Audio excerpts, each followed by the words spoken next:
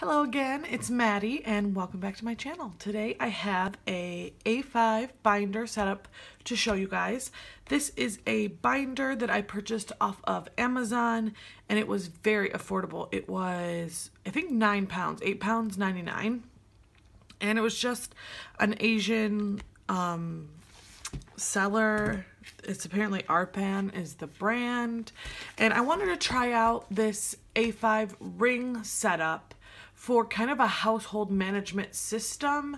For me, um, I have a lot of, at this point, I have multiple planners, but it's kind of a motivation to keep on track of things because I like using them. It's like a hobby for me. So I thought it would be helpful to put all of my household stuff in one place. And this could be something I can leave at home and refer to as I need to. So it's a combination of household stuff and then also YouTube social media stuff as well. So let's just get right on into this. This has like a magnetic clasp. What I will say is that it it doesn't leave you a ton of room for things. The rings are small and this like doesn't leave you a lot of room. Like this is about as full I think as I could fill it. So that's one thing to keep in mind if you wanted to purchase this, but I'm new to the A5 ring system, so I don't have a ton of things I need to put in this, so it's working out for me, and then, you know, in the future, if I want to invest in a more expensive um, ring binder, I can always do that. So here's what it looks like on the inside. Obviously, an integral part of setting up your planner for a lot of people is decorating and kind of making it your own. So I went ahead and I took a bunch of um, journaling cards and there was this window pocket. I put a journaling card down there. This is a journaling card that I cut. This is some ephemera that I had put together and was in my planner at one point. And I put that there. And then I just have two journal journaling cards here as well set up so that it's just cute. And then I will put um, relevant info like bills and things um, that I need to keep a hold of in here. Um, but right now, um, I have that all filed away. So I don't have anything there right now. And then over here, I have all these dashboards that I made myself out of some scrapbook paper. These are Target Dollar Spot notepads that are magnetic and I took a few off and I went ahead and clipped it with a brass bulldog clip and I got these from Sainsbury's. And so yes, this section, so this is just like my front dashboard, and then this section just has like notes. So this is just some like budgeting stuff that I had written down. And I like to have my brain dump sort of scraps note pages in the very front so that if I have to write it down quickly, I don't have to flip through anything. I can just open the dashboard and then scribble like I did here. And then the rest of this is just some printer paper that I had cut up. And then you'll see we have a calendar section. I feel like how can you have a planner without having a calendar in it? So I added a calendar. I have a 2016 year at a glance and a 2017 year at a glance. All of the calendar inserts are from Pengems and they're free download. So I'll go ahead and link those below for you. It's a zip file for 2016 and then they also have a zip file for 2017 that has your year at a glance, monthly, and weekly spread. So a week on two page spread as well as a month on two page. So I have this um, with just like relevant stuff circled. The orange circles are bank holidays because we're still getting used to the UK bank holidays and what they are. So I made sure to note that down so that I didn't forget because Alex does get those days off. And then I just started with November because I started it this month. And so this is what um, I put in these monthlies versus my like everyday carry. So this is budget um, things that I have budget stuff, I have YouTube stuff, I have relevant information for like our like me and my husband. So like when my husband's traveling, we need to send my residence application, we have a fertility appointment, like things that involve both of us um, are put on this um, right here. And then some of them overlap, like I'll put like this, I have things I need to do for it, and this, and the traveling that we do together. But then um, I don't do budget and YouTube and that I don't put any more on my calendars that I put in my everyday carry. I just use this calendar for that, if that makes sense. So yeah, so I had made this bookmark as well. And then I just went ahead and highlighted the videos I'm making. And then the red is for my stuff, blue is for Alex's stuff, and black is things we're doing together. So his parents were in town. We hung out with them this day. We actually went to London yesterday. That was kind of last minute. Um, and then we have Thanksgiving. So I'm min very minimally decorate this, just enough so that if I have some extra stickers, I can use them. But the goal of this isn't to be pretty, it's to be functional. Um, but the pretty stuff helps me and motivates me to use it. So I do do a little bit of it just to keep it keep it fresh. And then here's December, which is kind of set up um, a little bit. Again, I have the holidays that are relevant for December, events, traveling, the few um, YouTube stuff that I know that's going on, and um, just some notes. We're going to London, thing places I want to go while we're there. And yeah, it's just very simple, nothing too crazy. And then here's the 2017, so I have the whole year for 2017 in here as well. And then if I have like very far off planning, usually it's just um, ideas for what I want to do during the month. This it will be our second wedding anniversary. So, you know, do we want to go to the States? Do we want to take an anniversary trip? Something like that. But I don't do a lot of long long-term planning in this at the, at this point. And then back here, you can see I have a, my finance section right here. So let's see, do I have all of this? Oh, that's stuck. And then these tabs are just from the scrapbook paper. I didn't laminate these so that I can take them off and reassign them if I want to. So in the finance section, um, I have a few different things for budgeting mostly. Um, right here I have, I'm starting to list all the things that we have for direct debits. Um, because in the UK, a lot of your utilities and um, expenses, like living expenses, are direct debited out of your bank account. It's not usually I feel like that's the normal thing. I don't know, maybe I'm wrong, but um so I try to keep track of that. So I'm trying to keep track of what day of the month it comes out and how much so that I can have that as reference when I'm setting up my monthly budgets. So these are also free printables by a blog and I can't remember the name of it, but it will be linked below. And I liked this format. She has several other formats as as well. Has a lot of budgeting stuff as well as um, I believe she has weeklies and monthlies and stuff like that but I tend to budget by paycheck and we get paid in two paychecks. So I like that I can put what's the first paycheck's expenses and the second paycheck's expenses. Our budget is a little complex because we're living in the UK and we have a UK bank account, but we also have a US bank account and US expenses. So I have this scrap piece of paper so that I can write down, because um, I need more space than these two things kind of a lot. So I can write down the things that I need to be budgeting for and if I need to work out any math, I can use the scrap piece that's in between um, the the budget pages and then this is just what came with the planner so I thought I would use that and let's see Ah, yes. So this is all just budgets. And then here I have an online shopping tracker. This is a free printable by another blog. I edited these a little bit. Um, I didn't like the the way the I don't know font was. I don't know. I'm particular, so I changed that. Um, but yeah, this this section here is all the same as what you can get. And um, yeah, so I just write down things that I'm ordering online, the shop, the item, you know, you get it. And then I usually put down like what account it's coming out of or what credit card we used. And then again, if I received it or not, which I need to update this, it's kind of out of date, but I have that there to keep a track of. Then over here, I have online coupon codes, um, if I receive a thank you code or things like that from Etsy shops or on my email that I don't want to forget about, I can put them there. And then this is the by the same blog that um, has these.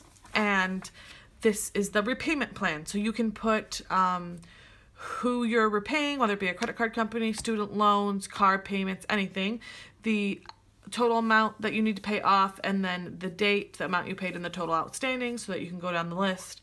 And um, for me, it's helpful because it's helpful to have that visual and it's motivational to see the amount physically go down, you know? So these are helpful for me. And then lastly, this savings plan is at the same blog that does the budget and um, very similar to the repayment plan what you're saving for the amount you need the day you need it by and then you can just put down the dates how much you want to save the, the amount that you actually saved and then the total saved. And then back here I just have some more scrap pieces of paper if I ever need to write things down or work things out for the budget or finances. And usually back here I also keep our um, our like financial information like reference numbers for our utility bills and stuff. If we need to call i can have those all the reference numbers that i need for um, if i need to contact them so that's what i usually have here as well and this tab is the youtube tab um, so this is all my youtube social media stuff i don't really use that but back here i have these are from Pengems. So normally I kind of Frankenstein these to be what I wanted. Um, as you can see, it's like there's a lot of space here and not a lot of space here and they don't really line up right and that's because these are two separate printables. They have the week on two pages which is Monday through Friday on one page, Saturday, Sunday, and then a note section and then they have a separate printable that's that's notes entirely and they look like this. But I wanted to have Monday through Friday on one side and notes on the other side because for YouTube for the most part I try to do everything between Monday and Friday.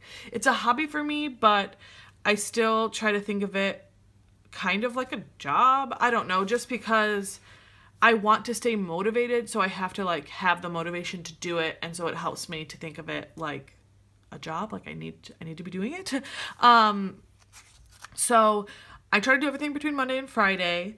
And so this week is a little weird because last week I didn't pre-film a Monday video like I usually do. I usually film and upload and all of that and then schedule it for whatever day it's going up. But I didn't do that today because we had a busy week last week. Alex's parents were visiting and it just didn't get around to it. So that's what I'm filming today for you guys. So I need to film this video. I need to edit and upload it. I need to share it on Instagram and then I'll share it on Facebook. Um, my Instagram is at Planner Imperfect. It's always linked below for you guys. And then I usually share it on relevant Facebook groups that I'm a part of. Not really on my personal page because, I mean, my family, not a lot of people, like, and my friends care about planners. or, like, I don't know it's weird. But you know what i mean? Like they don't get it. Why plan why planners are interesting. So i usually just share it on facebook groups that are relevant to it. And then on tuesday i usually don't do much but i said i just want to be active on insta because this past week i haven't really done much and that's something that i'm trying to be more actively a part of. And so yeah, I'll make sure to post a few th things on Instagram. And then Wednesday, I need to film, which is normal for me. I need to film a Friday video, um, edit and export that video and then on Thursday I will upload the video and add all the links that I need to do and make sure I have an Instagram picture ready. And then on Friday I it will be scheduled and it will be up at 1 p.m. and then um, I need to film a Monday video and edit and export it. And then over the weekend I can just make sure it uploads and things like that. So I can show you what a normal what a normal week looks like. So um, on the 31st, I set up my new Instagram and I had a video go up this day.